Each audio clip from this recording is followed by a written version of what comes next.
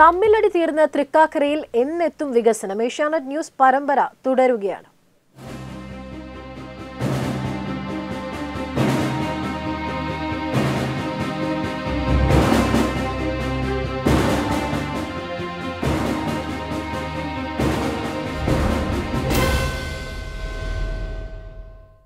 വികസനത്തിന്റെ പേരിൽ കോടിക്കണക്കിന് രൂപ മുതൽ മുടക്കുമ്പോഴും തൃക്കാക്കരയിൽ പദ്ധതി നിർവഹണം ഒരു പ്രഹസനമാണ്. നാലര കോടി രൂപ മുതൽ മുടക്കി നവീകരിച്ച നഗരസഭാ ഓഫീസ് പണി പൂർത്തിയാക്കിയ അന്നു മുതൽ ചോർച്ചയിലാണ്.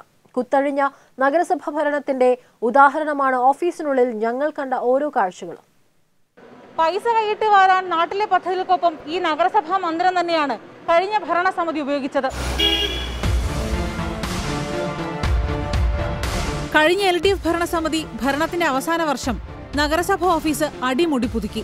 ചിലവ് നാലര കോടി രൂപ. നവീകരണം കഴിഞ്ഞ ആ മാസം ഓഫീസിൽ കണ്ട കാഴ്ച ഇങ്ങനെയായിരുന്നു.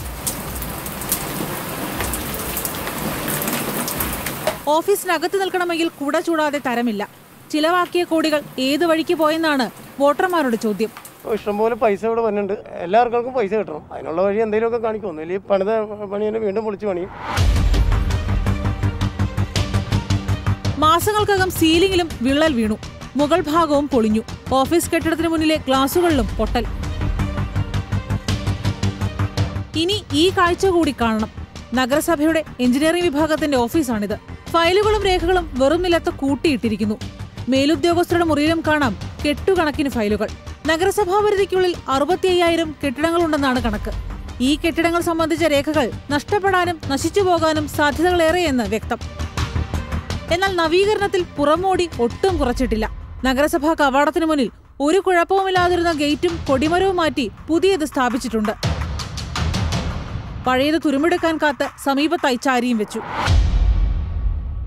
കൺമുന്നിൽ കാഴ്ചകൾ ഇതൊക്കെയെങ്കിൽ തൃക്കാക്കരയിൽ കാഴ്ചയ്ക്കപ്പുറത്ത് ഇനിയും എത്ര എത്ര അഴിമതി കഥകൾ ഉണ്ടാകണം.